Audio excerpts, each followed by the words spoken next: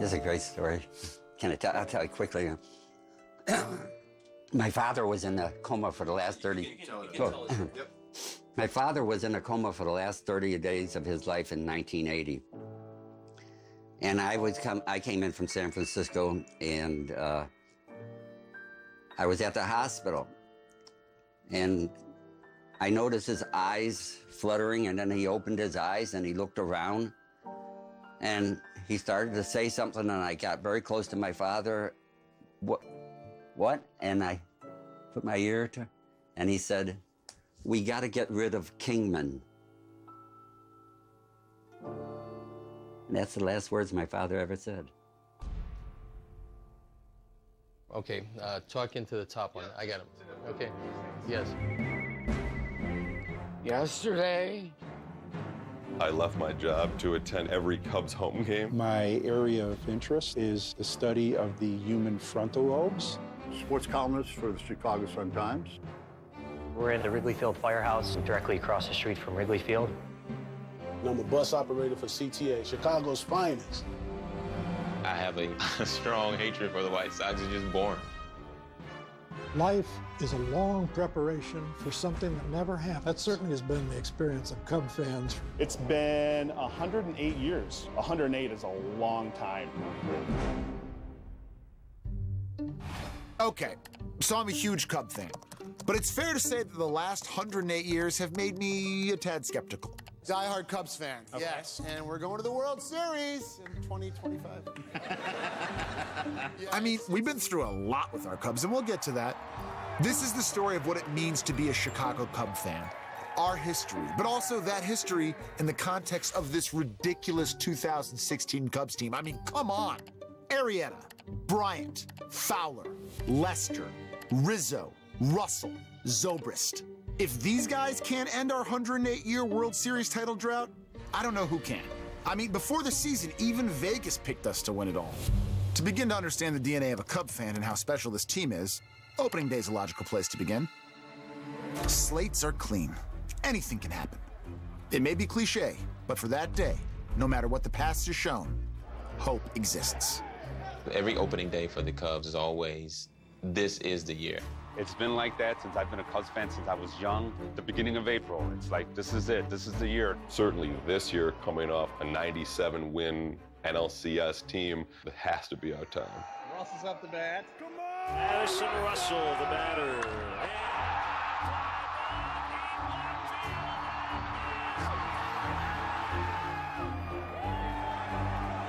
When opening day comes, it's a new season, a new hope, a new dream. Let's go. Ah, opening day is so hopeful. And this year, probably more than any other year in franchise history, it should be. This team is good. Really, really good. This is unquestionably the best Cub team in a franchise history that goes all the way back uh, deep into the 19th century. Yeah, this is by far the best team I've ever seen. They're so deep. They're so versatile. They don't rely on one or two people to win the ball games. We have a hero a day. How do you stop a team like this? It's got Rizzo and Bryant and Addison Russell and this pitching staff. There are some fans in this park, Cub fans, that can't stand to even watch it. And Arrieta comes with the 2-2 pitch. In the air, this should do it. Jason Heyward makes a catch. It's a no-hitter. Jake Arrieta has done it again. I say the sky's the limit. Maybe the universe is the limit for this guy. At this early point in the season, the Cubs were rolling. After Arrieta's no-no at 12 and 4, they were off to the best record in baseball. This is the year, right? Well, sorry to bring the mood down, guys, but uh, buzzkill alert. Former Cubs player and broadcaster Steve Stone breaks down the somewhat depressing reality of our situation. We have to trust that at the end of the day, the Cubs will not win the World Series because for 108 years they haven't. Every year ends the same, regardless of the good wishes and the hopes and the desires and uh, the aspirations that these fans have had all of these years. One year they're going to put that to bed. But until they do, we We have to pretty much go with the idea that for 108 years it's happened this way, it will happen this way again. Ugh, that's brutal, Stony. But it's this inevitability of losing that Cubs fans have dealt with for generations. And what makes the stakes so high for this 2016 team? It's our long history of not winning, and not winning under particular circumstances that begin to define who we are as fans. What is that history? Crash course time. Now, if you're a Cub fan, there are two unfortunate numbers that keep you up at night 1908 and 108. The year it last happened, and the number of years since it happened.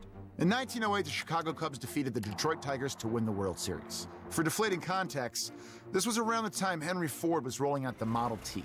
I was also negative 69 years old, but add 108 long years to 1908, and here we are.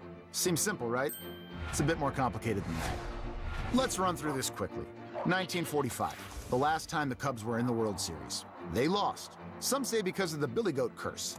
This involves a tavern owner being booted from Game 4 of the World Series because of the odor his pet goat made that he had purchased a seat for. Them Cubs, they ain't gonna win no more, he said. And in a way, he nailed it. Back in 45, when my father gave me that crash course in Baseball 101, I remember distinctly him saying, wait till next year. And I've been waiting for a long, long time ever since. The 50s and most of the 60s. Let's not talk about the 50s and 60s. 1969.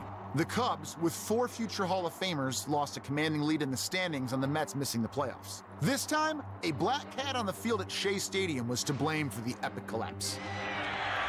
Cubs are the champion! 1984. The Cubs snap a 39-year postseason drought. Ground ball hit the dirt right through his leg! But in Game 5 of the NLCS, Leon Bull Durham makes a crucial error and the Cubbies lose. In the case of 84, I knew the fans would be very disgruntled, and I hurriedly rushed to the store because I was afraid they might break the window. They wouldn't be the Cubs if they didn't break your heart. 2003. If a fan just gets his hand out of the way, Moises makes the catch. Bartman! For the love of God or Billy Goats, and for his sake, let's not belabor this, people. He's a good guy. Here are two opposing views. He a Cubs fan, so why would you not give our player a chance to make it out that could possibly send us to the World Series? Man, let that catch go. People forget about when ground ball went to Alex Gonzalez at shortstop and he fumbled it. That's how the Marlins came back. We got to find somebody to blame. If it ain't Bartman, it's the GOAT. I hate to use the word, but I will. Curses. Curses seem to be a popular explanation or excuse for the Cubs' historic woes. I hate it. I think the level of hokum and sentimentality and mawkishness has been immensely off putting. Okay, tell us what you really think, Dan. Look, if it's not some curse hokum, what is it? There were a lot of different reasons why the Cubs didn't win. One of them was a lot of day games. And when you played a lot of day games and it was very hot and very humid in Chicago, the team wore down. People, it seems to me, generally tend to confuse bad management with destiny. The Cubs weren't destined to be bad. The Cubs had a big market, loyal fans, lovely ballpark, but they were just badly managed. The decision in the 1940s to cut back on the farm system haunted the Cubs. If the Cubs lose, it's not because of an old man and a goat. And it's hard for people to grasp that, and sometimes it's uncomfortable for people to grasp that. So, is it a curse? Isn't it a curse? Who knows? But the fact remains. Despite the apparent despair, either caused by day games, the absence of a farm system, bad management, or a, a raunchy billy goat, Cub fans keep coming back for more. But why? I think Chicagoans are just, they're blue blood, they love their team. We came during our school break. Chris, please. We've been on a drought going over 100 years, so you have to have patience. You have to have blind faith in your team. We're not going to change for nobody. We're going to root for our team whether they winning or losing. That's the Chicago way. If I'm a casual fan of another team, I'm probably asking myself, how do you do it? Year after year after year of, of not winning. Um, because you think, I've invested so much pain in this already, I'm not going to quit. If I quit and become a Brewers fan, the Cubs will get even with me by winning the next year. The fans have stayed loyal to the Cubs because fundamentally the Cubs represent hope. I've always likened Cub fans to parents of children who sometimes don't do what you want them to do, Do they aggravate them? Certainly. Do they frustrate them? Absolutely. Do they dislike them at times? Oh, most assuredly. But do they love them? Absolutely. Year after year, decade after decade, century after, unfortunately, century. And here we are, a month through the season. The Cubs were off to their best start since 1969, and it's looking like we're on track for this to be the year that our loyalty is paid off for all the seasons of suffering. This is a good thing, right? It's definitely a good thing. I think that nobody would admit this, but there would be something very special about this team losing. I could actually see the, the benefit to it happening of more glue in the chain that holds all these people together. I know, it seems like an absurd idea that we're better off losing. But what happens if the Cubs win it all this year? We have this singular identity as fans that rests almost exclusively on the idea that none of us have been alive to see a World Series champion. So I know it's crazy, but is something important lost if we win? As Tellender argues, is losing the glue that bonds us? Our goal here is to figure that out. Let's make this fast. You're used to accepting credit cards like this, but Square's new reader keeps you safer if you take cards like this or like this. Square lets you accept every credit card for the same low rate. That's every dip and every tap, with no surprise fees. Deposits come fast, like as soon as the next business day fast. And with easy to read sales reports, you can grow your business fast. Accept every card, every payment, everywhere, and get paid fast. Get started at square.com. Esurance does auto insurance a smarter way, like their photo claims tool. It helps settle your claim quickly, which saves time, which saves money. And when they save, you save. That's auto and home insurance for the modern world. Esurance, an Allstate company. Click or call. Esurance does insurance a smarter way, which saves money, like bundling home and auto coverage, which reduces red tape, which saves money. And when they save, you save. That's home and auto insurance for the modern world. Esurance, an Allstate company. Click or call. People say I'm evil. I say evil is how cable companies trick you with a low rate and then BAM! Your bill is over a hundred bucks a month. Say goodbye to the way TV used to be. Introducing Sling TV.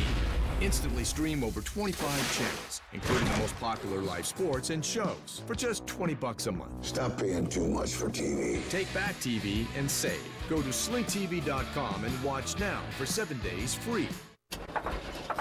Cheryl, you're ready to get new car smart with Kelley Blue Book. New car what? New car smart. Did my mother send you? You're ready to find out how much your new car will cost over the next five years. I can do that with Kelly? Yep. Are you sure? I'm positive. I'm the voiceover. You're ready to watch expert reviews like it's the thing you love most. It's awesome. Yes, awesome. Know all there is to know before buying your next new car. Get more than pricing. Get new car smart with Kelley Blue Book. You sound like a man who is afraid that I am dead right. You talk about the Cowboys and the Patriots like they're like your kids. what am I missing? This is the place to be. You won't listen. I do not hate LeBron James. In fact, I like him. I don't like it. I love it. That's the hottest seat in sports media. This is undisputed. That's a mighty fine goat you got there. You want to swap for a new one? What do you got? We got goats. White goats, brown goats, black and white goats. How about this one?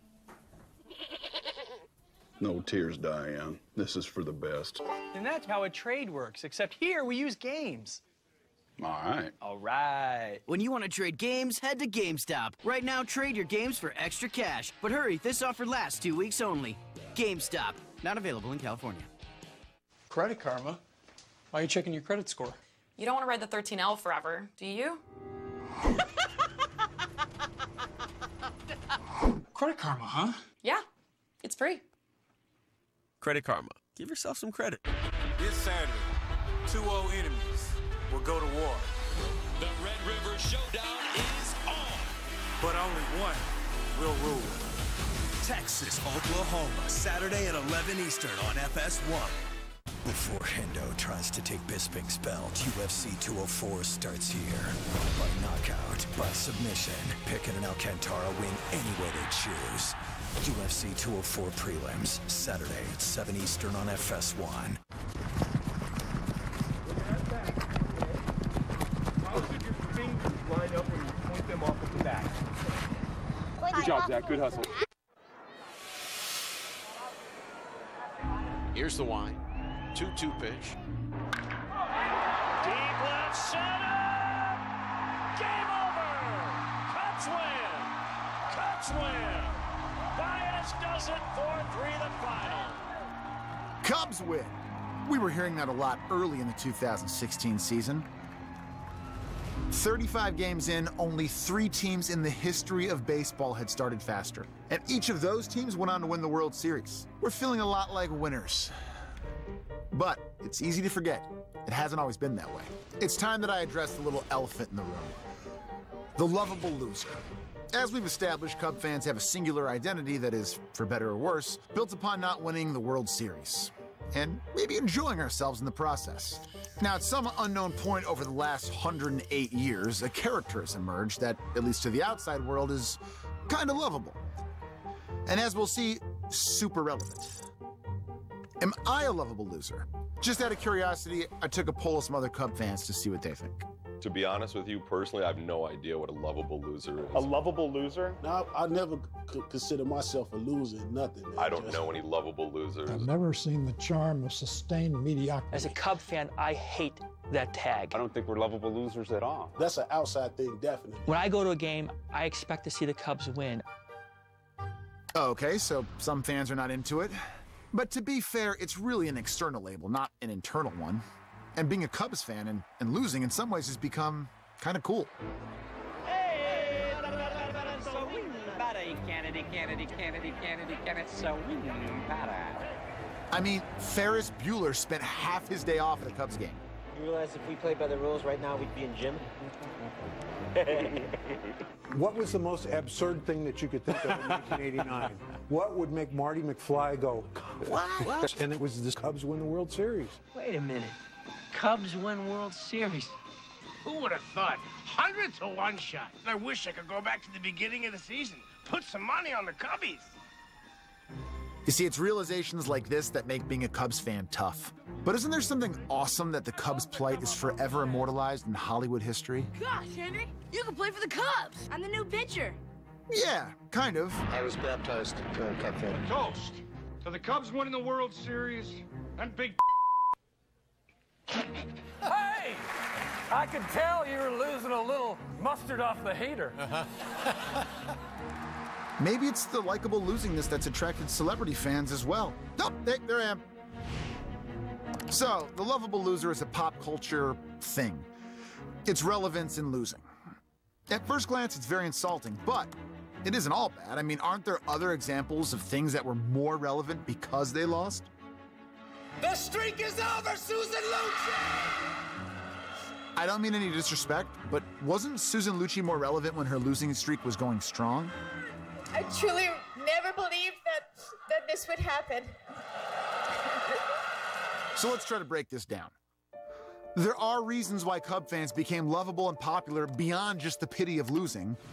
I mean, first, we're seen as pretty damn loyal, even in the face of such a long drought, but we've mostly covered that already. There are two other key things that contributed to this identity. Number one, the uniqueness of the Wrigley experience. And number two, the power of television. Let's start with Wrigley. The fan specific experience has early roots. Baseball games up until the mid to late 1920s was predominantly attended by men. William Wrigley really emphasized the family. This was unique. When he died and the team passed to his son P.K. Wrigley, he decided that because the team wasn't very good, but the ballpark was a little jewel, that he should market the team as a baseball experience, a nice day at the ballpark. The people would have such a lovely day that they really wouldn't care what the score was. The takeaway is that these early decisions would have long term effects on how Cub fans would approach a day at the ballpark. Wrigley was becoming the friendly confines. When you walk in the park, it doesn't feel so commercialized. You can smell the grass. You see the green ivy. It's just a friendly environment. It's cozy. Also, the location of Wrigley Field, it's right in the middle of the north side of Chicago. There's homes all around there. There's the rooftops. It's, it's the atmosphere is great. The peanuts, the cracker jacks, the seven inch stretch. The fans stand for the singing of "Take Me Out to the Ball Game." One, a two, a three.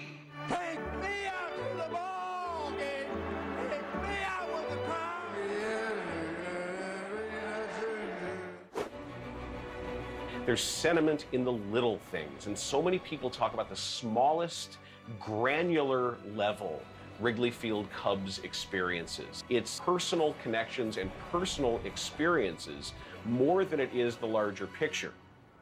And that larger picture, if you hadn't guessed, is winning. Wrigley Field and the experiences that fans share there are important in understanding the lovable loser, and the national relevance and popular culture significance Cubs fans developed. This would only be strengthened by number two on our trusty checklist television. Like a lot of Cub fans of the, of the 1960s and 1970s, I became a fan because of WGN TV. Every Cubs home game was on free TV. With exciting baseball action on America's number one sports station, Channel. I'm only a Cubs fan because I got six stations, and that happened to be one of them. People who were around during the day all over the country, they became Cubs fans, even though they'd never been to Chicago. I first fell in love with the Cubs as a real young kid, watching WGN, Harry Caray, Steve Stone. Can't keep these big glasses on. Where are your, where's yours? You're wearing it. The challenge was in trying to integrate this broadcast with one of the most colorful characters in the history of broadcasting, Harry Caray. Holy cow! Harry was the quintessential salesman of the game of baseball, the city of Chicago, Wrigley Field, and the Chicago Cubs. Wrigley Field has gone bananas! He understood exactly what the man wanted to hear at home. Harry was like your buddy. He's like your friend at the bar, sitting, having a beer, enjoying and talking baseball. His appeal was that he was a fan, and he thought and talked and sounded like the average guy in the bleachers. And as he told me, when they're bad on the field, we have to be that much better in the booth. Harry understood that we had to entertain people. Otherwise, they're going to turn away. And it was his idea of entertainment that really made the Harry and Steve team the team it was. Cubs win! Cubs win! I think Cub fans are excited uh, about Willson Contreras. A standing O before his first big league at bat.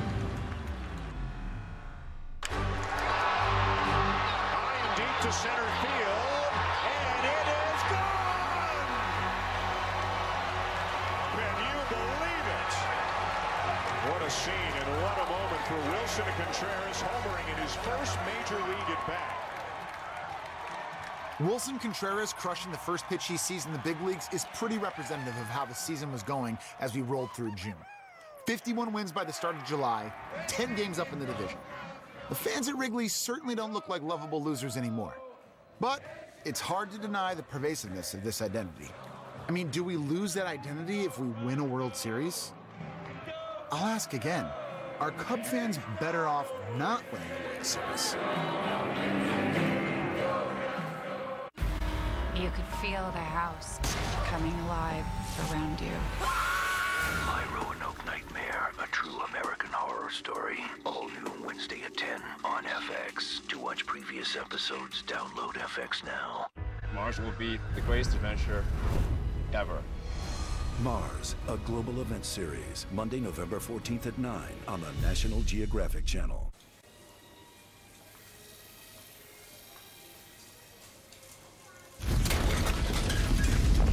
My razors will get you a high quality shave at a very economical price. Get your first month of razors free at dollarshaveclub.com. Long ago, an empire was born.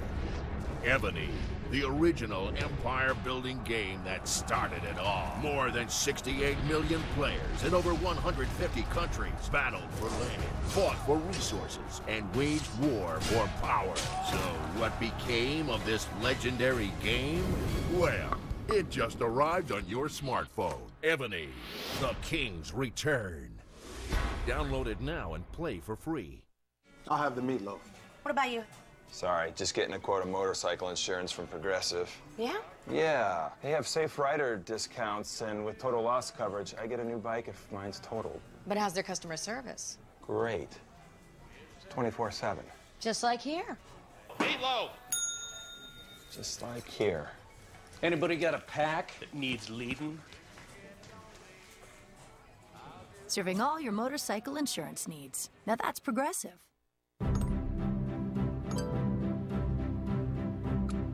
The first rule of being a Viking is that teamwork is important. Remember to do the little things. Help each other out. And the second rule of being a Viking there's more than one way to win. Vikings, War of Clans. Play free now. Hey, buddy, you here for the tickets? Yeah. Wait. Oh, man. Good shit. what were you thinking? Uh, You've got to get your tickets on NFL Ticket Exchange. Oh NFL Ticket Exchange, 100% verified, authentic tickets.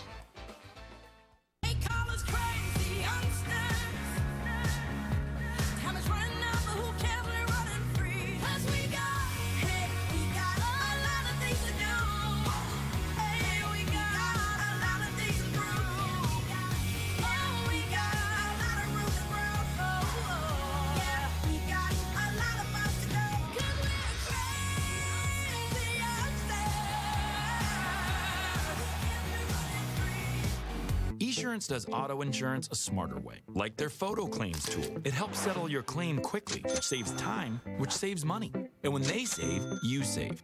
That's auto and home insurance for the modern world. Esurance, an Allstate company. Click or call. Esurance does insurance a smarter way, which saves money, like bundling home and auto coverage, which reduces red tape, which saves money. And when they save, you save. That's home and auto insurance for the modern world. Esurance, an Allstate company. Click or call. With Custom Ink, you can design custom t-shirts and other great products for every occasion. From the first day of school to game day and everything in between. With the best collection of styles and graphics to choose from, it's easy to go online and create custom t-shirts and more for all of life's events.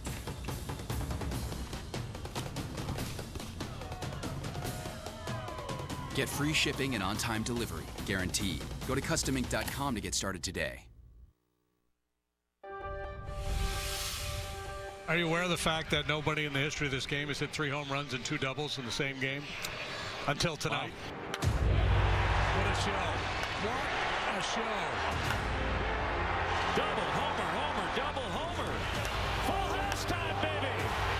He is the first player ever to do this. Three homers and two doubles. Figured I was due, and uh, I guess today was my day. I think that a generalization would be that fans of the Cubs probably, of all the fans in the world, are the smartest. I'm a cognitive neuroscientist. I've always been interested in the frontal lobes of the human brain. This part of the brain contains all the kinds of processes and memories that make us human reasoning, foresight, and planning, and rationalization. Okay, I'm a frontal lobe expert now. But how does that relate to Cub fandom? When you're a Cubs fan, you have to learn to use extraordinary measures, cognitive and social, to rationalize why you're still rooting for a team that hasn't won at all for over a century. You have to reason more about why they're not doing as well. So hopefully it's been helpful to the development of our frontal lobes, if nothing else. Now, Dr. Grafman has published many papers in his area of expertise, and all of them are over my head. But his crowning achievement in his field just may be this. He seriously made this graph for us, like on PowerPoint. I mean, for a scientist, it's not very scientific, but it compares the brain of Cubs fans to the noggins of New York baseball fans. As he explained, Cubs fans have had practice reasoning and rationalization during individual losses and losing seasons, and the Yankees, with their 27 World Series titles, have had to do a lot less of that. It's not really good for their frontal lobes. So Cub fans are the smartest in the world because their frontal lobes are being worked to the max. Got it. Now, this all sounds interesting in theory, but how does it work in practice? Let's break down the Steve Bartman incident from a neurological point of view. A prime example of Dr. Grafman's frontal lobe cardio happened on that play. Does he have room? And leaping up, Alou cannot make the play. You see the demonstrative look on the player. All Cub fans should and would look at the scenario and start building possibilities that could occur as a result of this scenario. What happens if the next batter gets on, or another batter hits a home run, or the Cubs lose this game? There's still another game to play. So you're thinking and you're rationalizing and you're reasoning and you're pushing your frontal lobes as much as possible in order to have a reasonable view of what just happened. And the fans are in shock at Wrigley. All of that is stimulating for a fan.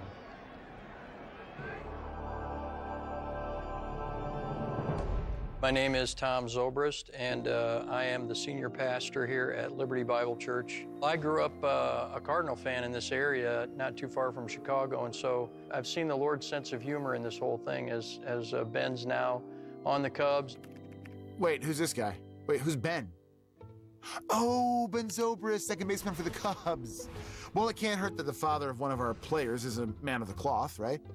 Pastor Z, as I like to call him, is a prime example of how baseball and religion can intersect and how interwoven the two can be, especially in trying to make sense of such a fickle sport. The terminology that I use that you'll hear announcers say sometime is the baseball gods. Baseball is such a cruel sport. Fans have to learn to deal with failure. I think when you're dealing with something that capricious in nature, you would want to connect a god to that. Speaking of connecting a god to baseball, the Cubs have a character that epitomizes this idea. My name is Jerry Pritikin. I'm affectionately known as the Bleacher Preacher.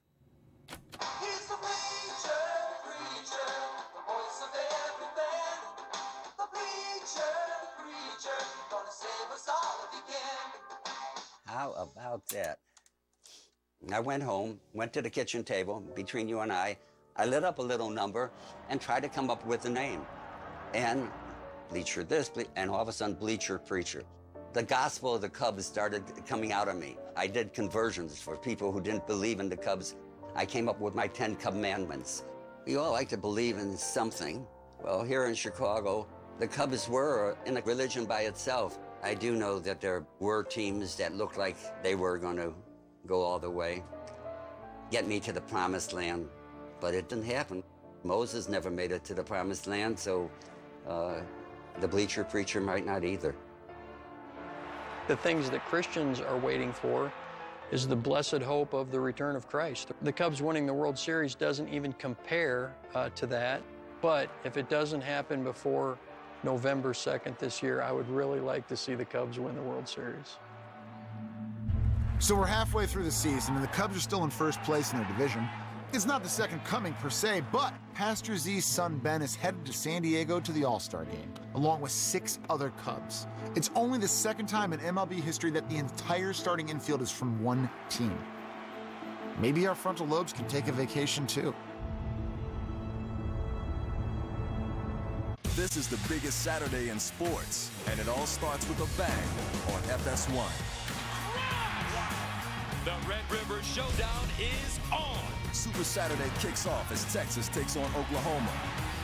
Then it's game two of the NLDS, live. And the NLDS is underway. And finally, UFC 204 prelims. This Saturday isn't just any Saturday. October 8th is Super Saturday, only on FS1. Let's make this fast. Square lets you accept all major credit cards. Fast like this, fast like this, or really fast like this. It's always the same fee across the board for every swipe, dip, or tap, with no surprise fees. Deposits come fast, like as soon as the next business day fast. And you can see when your money is in your account, so you know you just got paid fast. Your first card reader is free. It couldn't be any simpler. Get started free and fast at square.com and start selling faster with Square.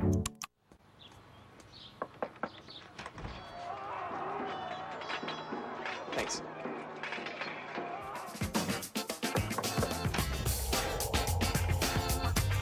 Can you see in there?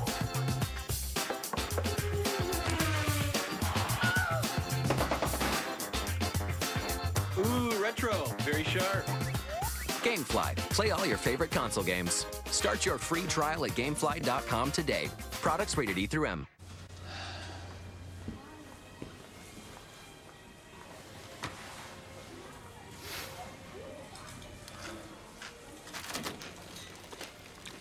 Psst.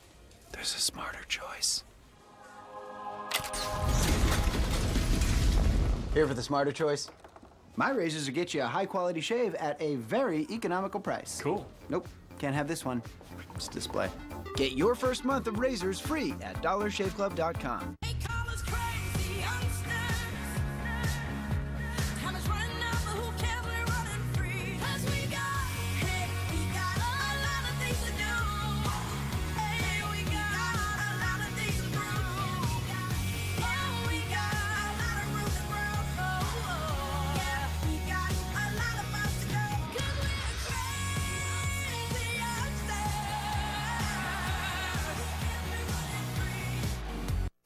used to have to go in to the auto parts store. Pay too much, never find quite what I'm looking for. Now I just go online to Rock Auto and see all the parts my car will ever need. Lower prices, more parts, more brands. It's so easy to find the right parts fast. All the parts your car will ever need. Rock Auto. All the parts your car will ever need. RockAuto.com. I won this 55 inch TV for less than $30 on DealDash.com. I got this $1,200 computer for $100.71. These aren't actors, they're real people who got real savings at DealDash.com, the fair and honest bidding site. At DealDash.com, you can save up to 99%, but hurry, everything must go. And shipping is always free. Visit DealDash.com and start bidding today.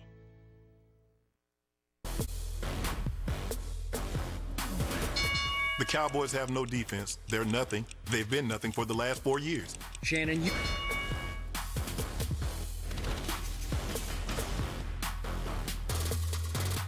Walmart's Fox NFL Kickoff. Join Colin, Carissa, Charles, and Dave for all the latest in the NFL. Walmart's Fox NFL Kickoff, Sunday at 11. We're underway in the 87th Major League Baseball All-Star Game. Might be the premier home run hitter in the National League, and this is belted out of here. Kris Bryant, first pitch swinging. This guy is putting together already a season for the record books. Not many people get a chance to hit a home run in an All-Star game, so I mean, I'm going to cherish this moment for a long time. I think it's pretty obvious the Cubs had a solid first half. I mean, the entire infield started the All Star game. And these stars didn't just fall into our lap, this wasn't luck. Remember, we've had pretty questionable luck up to this point. And that unlucky history created a complicated, lovable loser identity, ever so relevant and likable, but in the end, existing because of the whole 108 years thing. But stop the presses. Hold the phone. The baseball gods just seven short years ago answered our call to the bullpen. Enter Tom Ricketts. Everyone needs to know that we are here for the long term and we are here to win. The best thing that happened to the Cubs turned out to be Tom Ricketts. Sort of a nondescript dude. Looks less like a superhero, more like a stockbroker. Bingo! The Ricketts family owns Ameritrade.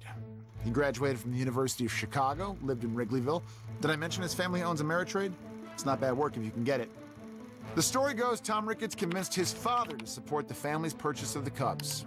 It's a great business move, he argued. The Ricketts takeover happened in 2009, and Tom Ricketts now owned his favorite baseball team. Tom Ricketts lived over a bar in Wrigleyville.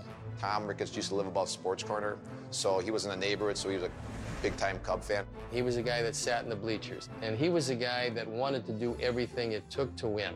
The baseball operations of the Cubs was uh, ramshackle before the Ricketts came along, and Wrigley Field itself was literally falling down.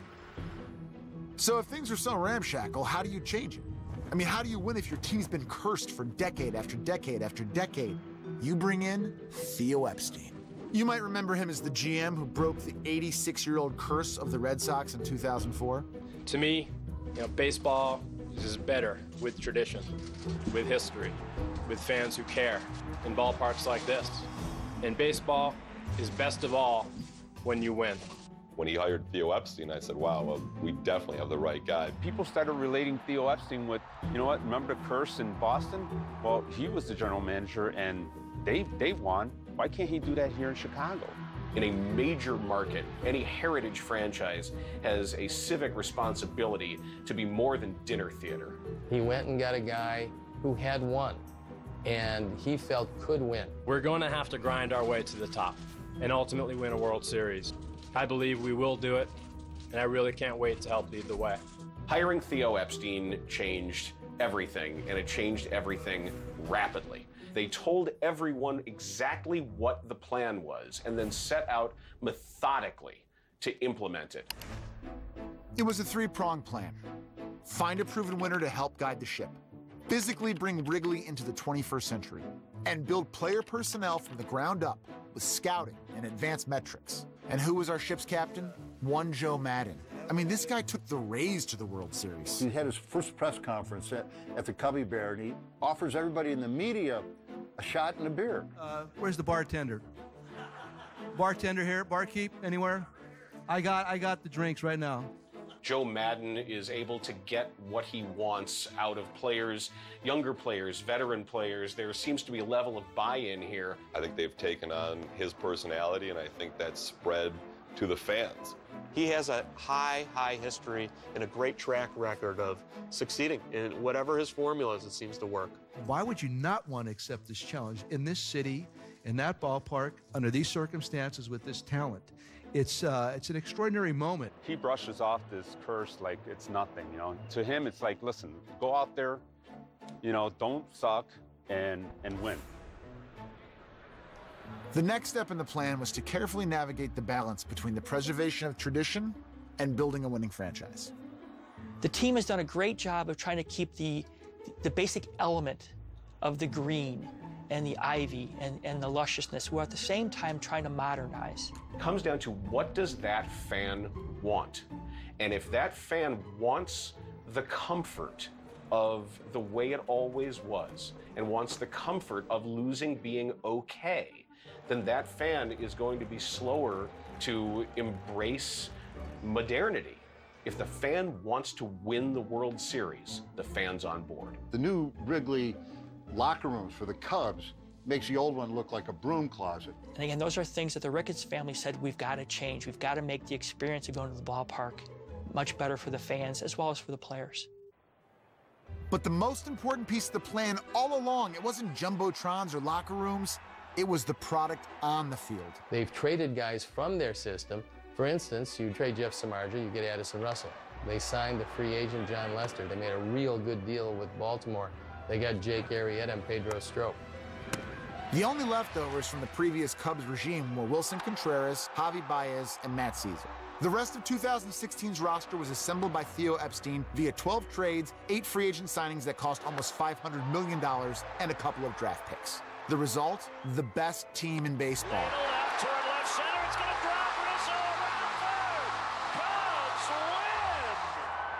Right now, as far as working that ball club is concerned, the front office, player development, scouting, international scouting, there are very few teams that do it better than the Cubs. And he connects on one a mile high. Wow. So let's recap the plan. We hired guys that shrugged off this curse nonsense, updated the friendly confines, and brought in fresh talent to not suck. These moves combined to create a change in the culture that was a breath of fresh air for a lot of fans. We were at a place for so long and we were content with just being the lovable losers. But now that everything's restructured and we're set up to be you know, perennial contenders, expectations have changed, and I think the whole feel of Wrigley Field and Cub fans as a whole has changed. We're not here to be lovable losers anymore. We're not here to be quaint. We're not here to be cute. We're not here to be an antique. We're here to kick ass. Any Cub fans remaining who are hoping that the Cubs will continue to be lovable losers should change teams. The lovable loser is dead. Whether Theo killed him or not, that's a good thing. Because when you're a lovable loser, you're still a loser. Cubs 6, Seattle 6. Bottom of the 12th inning with runner at third. Lester gets a bunt down. Coming home. Cubs win. Unbelievable bunt by Johnny Lester. You couldn't have rolled it out there any better. So Theo and company's plan looks like it's really working. The Cubs rolled through the second half of the season and entered September with the biggest lead in their division since 1907, a year they won the World Series. And the Cubs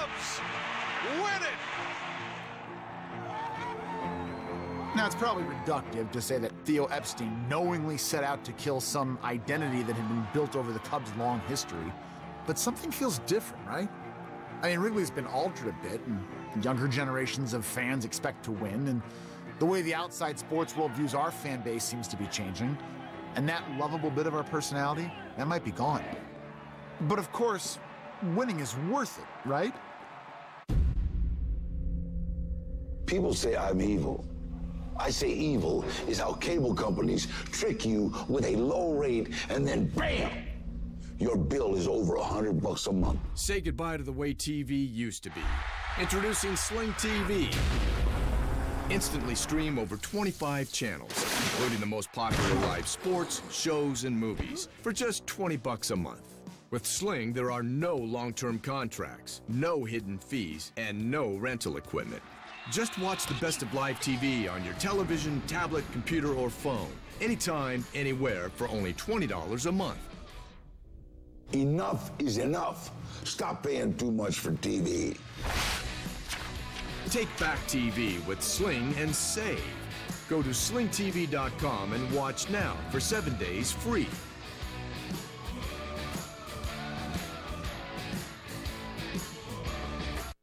What you doing? Just checking my free credit score at Credit Karma. What the? You're welcome. I just helped you dodge a bullet. But I was just checking Shh. Don't you know that checking your credit score lowers it? Just be cool. Actually, checking your credit score with Credit Karma doesn't affect it at all. Are you sure? Positive. Huh, so I guess I could just check my credit score then. Oh, Check out Credit Karma today. Credit Karma. Give yourself some credit. sorry about that. You have a vision. It's behind everything you do. Even when you least expect it, it comes through. You know what you want, and we can help make it real. You need choices? We've got all kinds, including special finishes and papers. And they're all absolutely guaranteed because you have a vision and we have your card. 500 start at just $9.99 when you enter 500 TV at Vistaprint.com. Meet the new face of late night sports talk, Katie Nolan. It's my show. If you weren't paying attention, you're paying attention now. Garbage Time with Katie Nolan, Wednesday at 11:30. Are you single? Yes. What are you looking for? You know, not just a first date and gone, maybe a second date. Match leads to more second dates than any other app. I'll have to join Match, I guess. Match. Start for free today. This Saturday, 2 enemies will go to war. The Red River Showdown is on. All Sooners, born and bred. Mayfield, he does it again. Longhorn Nation. Touchdown, Texas. Bringing the pain. A rivalry that spans generations. Dives, touchdown. But only one will rule. Texas, Oklahoma, Saturday at 11 Eastern on FS1. I truly believe we can make this work. You in my world now, so sit back and enjoy the ride. Just don't know what he's doing with that hood rat. Once I get finished whooping both of y'all, you gonna wish you never met a hood rat like me. Me and Cookie, we've been in this situation many times, but we always find ourselves back together again. We'll see about that. Empire all new Wednesday or watch anytime on demand or Fox Now. What's that? Walked into this hospital. and I want to walk out. Killing Reagan, a movie event, premieres Sunday, October 16th at 8 on the National Geographic Channel. This copyrighted telecast is presented by the authority of the Office of the Commissioner of Baseball and may not be reproduced or retransmitted in any form, and the accounts and descriptions of this game may not be disseminated without express written consent. There's a phrase that says, wait till next year. I've said it a lot. In 1984, the Cubs won a division title. 1985, that's going to be the year. Well, we said that after 2003, and 2007, 2008. We said it last year. Well, one of these years, next year will be this year. 1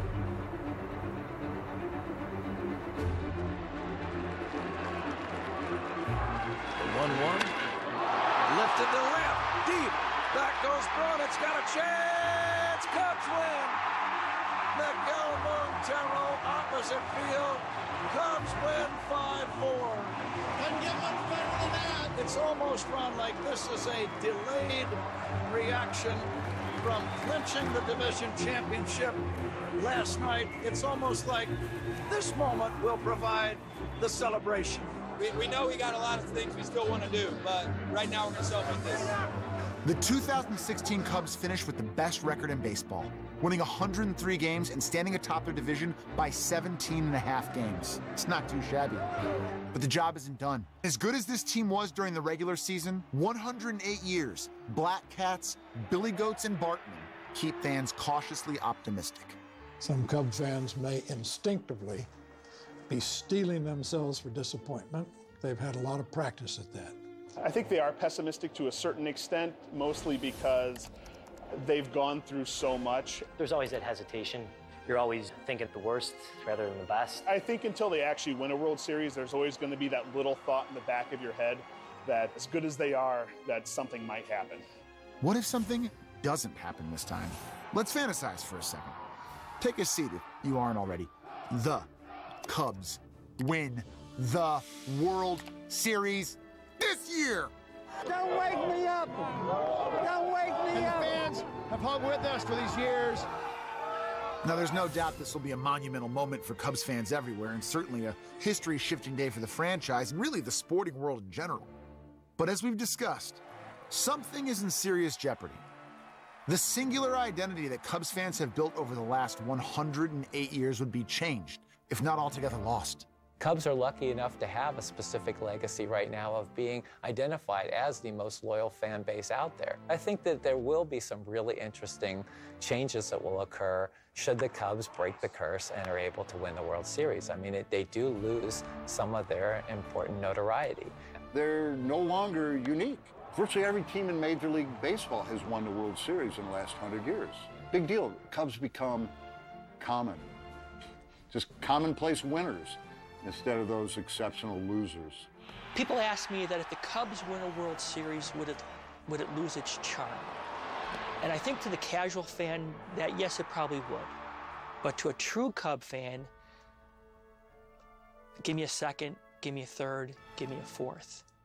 This isn't a college. This isn't Little League. This is a top three market. This is multi billion dollar professional sports. Winning and the desire to win, the winning mattering, should replace all of the sentimentalist garbage. Now, there are differing opinions about whether what was lovable about us hits the cutting room floor when we finally win a World Series, and if that should matter. But could our identity be changed so drastically by winning and winning again and again that it 180s from the Cub fan we've all come to know and love to being hated? Could we become the Yankees?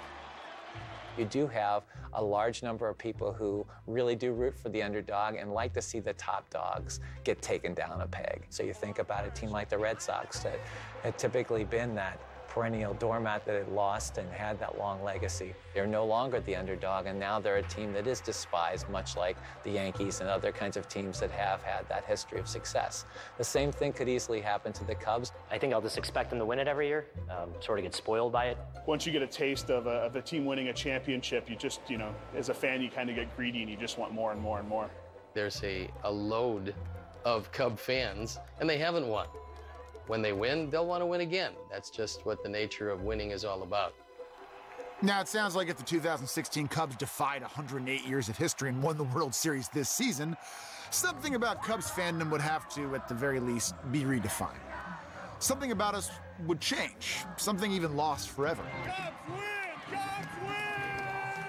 Whether we morph into the evil empire, who knows? But something interesting and fun, ever so relevant and lovable, is compromised. So I'll ask a final time Should Cub fans prefer to keep losing to maintain their unique identity? no. Absolutely not. You knew that was a bogus question. Come on, man. We Cubs, man. We want to win at all costs, man. Yeah, I know. It's kind of a bogus question. Conclusion time. For fans, winning is what ultimately matters, not some legacy or identity. And call me a sentimentalist. I'm pretty proud of our 108 year journey. And if we do win a World Series in 2016, wasn't there something admirable in maintaining loyalty through the ups and the downs? Wasn't there something really fun and interesting about having relevance in a sporting culture obsessed with winning and losing? Hasn't the experience of being a Cubs fan, no matter how difficult at times, been awesome? Sure, winning means something, almost everything maybe. And what might be lost in winning will and should be overshadowed by what is ultimately gained. We're here, Wrigley Field, baby. Smile. What bonds us isn't losing, it's the shared experience of following a team we love, all the while defining an important part of who we are. People know me, I'm a Cub fan. And people I went to grade school, I haven't seen in 40 years. If you ask, hey, tell me about Ed Hardig, one of the first things they may say, oh, he was a big Cub fan. It's just been part of me, and it's, it's part of who we are. Being a Cub fan has been an immensely exasperating, but ultimately satisfying 68 year journey for me. That journey is part of it, you know. I'm 46 years old. I've been a Cubs fan all my life. I would love for them to win a World Series in my lifetime. Yes, it's a game, but it's, it's a common thread across generations. I'd love to see a World Series before I depart this world. That's just a feeling I've been waiting for for a long time. It will have been worth waiting for my father's promise. It will be worth seeing all those losing seasons. It's pretty nice to have a team that, that you all get to know them by heart and become part of your families, and, and they, they bring you joy. And, and with the joy, you got to suffer a few things, but it's been a lot of joy this year.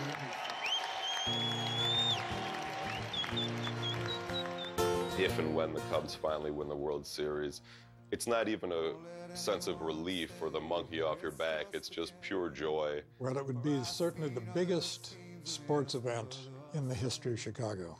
When you're born in Chicago, you're blessed and you're healed. The first time you walk into I think this whole city would absolutely explode. Chicago will never see anything like it since the Chicago fire. will go all the way. Yeah, someday we'll go all the way. The delirium, the confused and dazed joyfulness that would be out there as people are saying, did it really happen? Do you believe it? I just, I just can't imagine it. I'm sure I'll get emotional. I, I'll probably cry. I'm sure I'll cry a little bit. I am going to lose my mind if they win the World Series. Whatever emotions come out, I'm just gonna let them come out.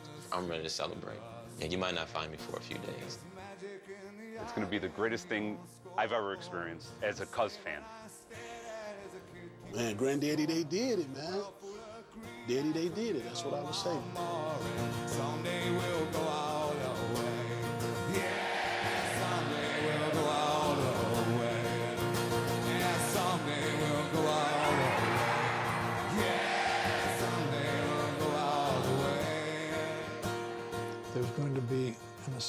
Especial delight in savoring victory that has come after so much defeat. I imagine after a f- couple moments, I'll, I'll, I'll grab my phone and I'll, I'll call my mom and dad. Um, I don't know. We'll, we'll see. I, I guess you can't practice spontaneity.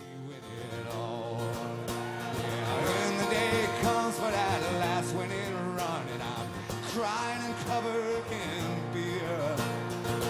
to the sky. And know I was right